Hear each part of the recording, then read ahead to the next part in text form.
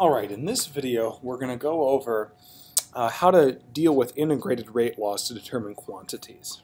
Alright, so let's go ahead and look at the problem. So this is for integrated rate laws. A novel reaction of unknown reaction order involves one reactant, A, whose concentration declines from 0.6 molar to 0.2 molar in 45 seconds. we're going to do two things. Number one, we're going to determine the rate constant assuming the reaction is first order in A.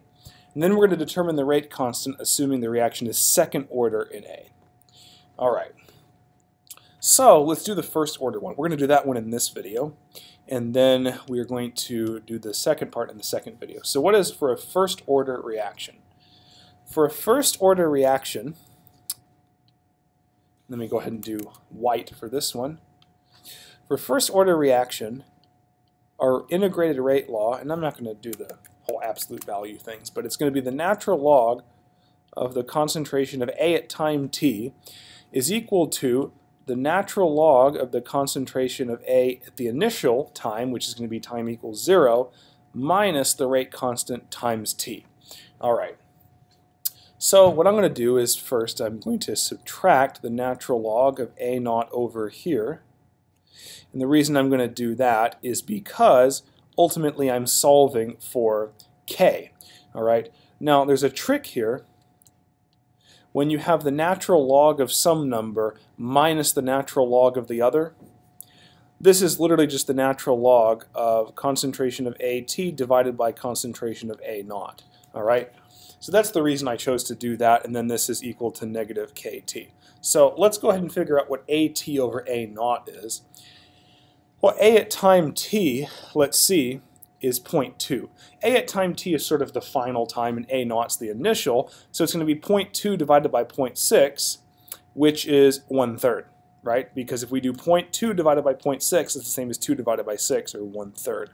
So this is going to be the natural log of one-third is equal to minus kt. If you're curious where I got this, I'll go ahead and write it out we would get the natural log, remember the concentration at time t is 0.2 and the initial A naught is 0.6. So what I would get is 0.200 molar divided by 0.600 molar. And I guarantee you if you type this into your calculator, it's going to be one third. And that's going to be equal to, and let me actually do this, that's going to be equal to K times the time, which is 45 seconds. Let me make sure. I believe that was 45 seconds. Right. Okay? So now let's go ahead and solve for k. All right, so we're going to get natural log of one-third. I'm expecting a negative number, and sure enough, it's negative.